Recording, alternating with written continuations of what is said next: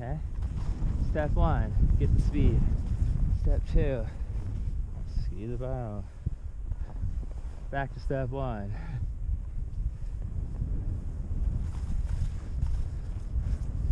And